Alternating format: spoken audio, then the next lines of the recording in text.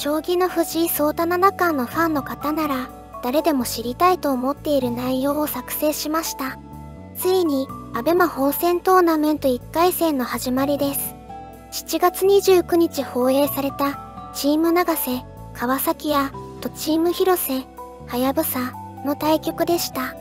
結果は5勝2敗で、チーム長瀬の勝利でした。どのような対局でしたか？最後まで見てください。結果のまとめです。1曲目は、長瀬リーダーが先陣を切って登場です。チーム広瀬は、近藤七段が登場です。戦型は、各代わりになり、128手で後手番の近藤七段が勝利しました。長瀬王座は、想定外の出たしになりました。2曲目は、エースの増田七段と石井六段です。石井六段が三連飛車に振りましたが、増田七段が108手で勝利しました。3局目は、本田六段と広瀬リーダーの対局です。相い飛車の力戦になりました。本田六段がうまく指して、79手の短手数で勝利しました。広瀬リーダーは想定外の結果になりました。チーム長瀬は、長瀬リーダーが後手番で登場し、石井六段と対局です。石井六段は、また、三元飛車にしました。110手目長瀬リーダーが勝利しました。第5局目は、増田七段と近藤誠也七段の対局で雁木の戦型になりました。増田七段が、好調で77手の短手数で勝利しました。チーム長瀬がリーチをかけました。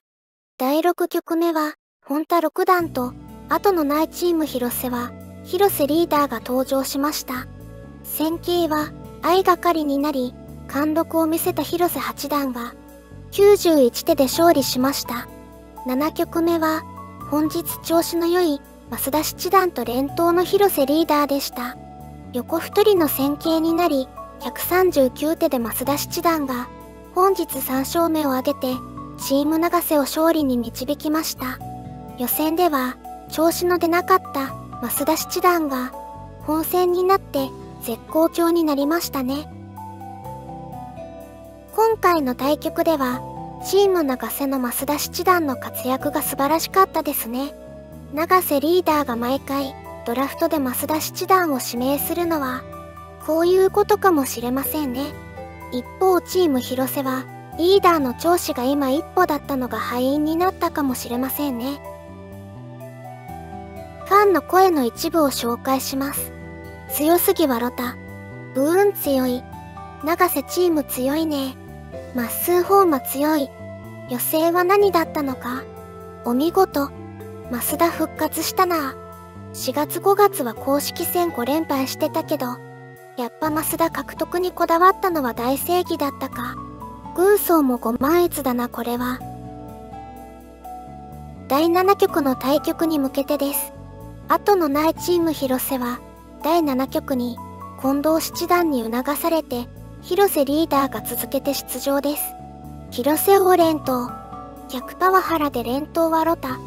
もともと自分が出るつもりだった。いやあなた聖夜に指令されてましたよね。広瀬が連投とは思わなんだ。え、まっすー3連勝で終わるの広瀬チーム優勝候補だと思ってたんだがな。これもう優勝は永瀬チームか稲葉チームの2択じゃね。この2つが頭一つ抜けてるわ。負けたチーム広瀬でした。どこで負けを悟りましたか？広瀬、匠をくじで外した時ですね。聖夜、石剣、で、ドラフトの時に悟っていたかアベマが終わって、広瀬、さっさと負けて公式戦に集中します。トヨティ、せやね。菅井、せやせや。鍋、せやせや。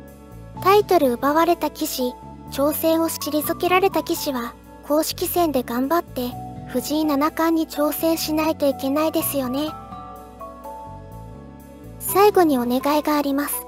2023年には藤井竜王名人が八冠を達成すると思う方に、また一般棋戦4つを再びグランドスラム、さらに非公式戦でも勝利してほしいと思う方に、今後も藤井聡太竜王に関する情報をお伝えするためにも、最後まで見て忘れずにチャンネル登録とグッドボタンをポチッとお願いいたします。次回の動画でお会いしましょう。